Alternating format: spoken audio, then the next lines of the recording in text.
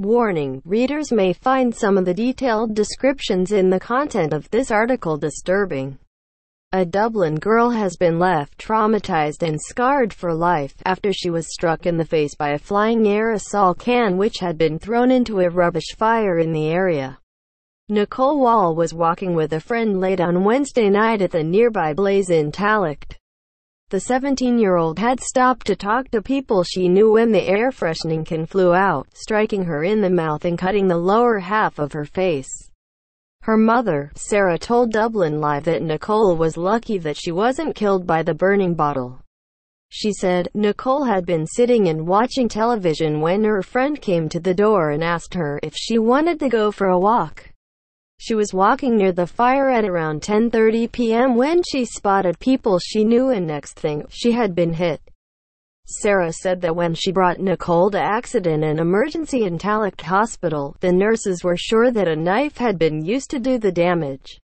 It split her open from her lip all the way down to her chin.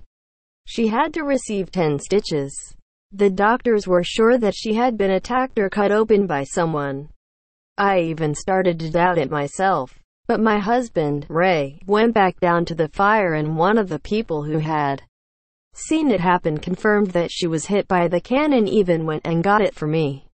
Sarah said that the frightening incident has affected Nicole's school performance as she is currently sitting her leaving certificate exams at St. Aidan's Community School. She had an exam on Friday and the school called to say that she had a panic attack and had to leave in the middle of her test.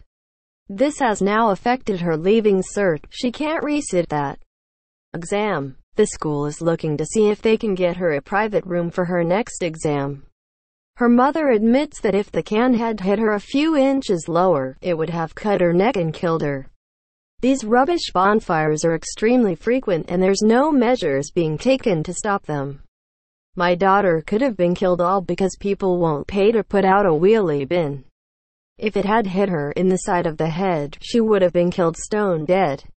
Sarah said that something needs to be urgently done about the increased level of this kind of activity in the area before it seriously injures another person or worse, takes someone's life. She concluded, unless the council step in and intervene, it's going to keep happening day after day. Dublin Live has contacted South Dublin County Council for a comment. More news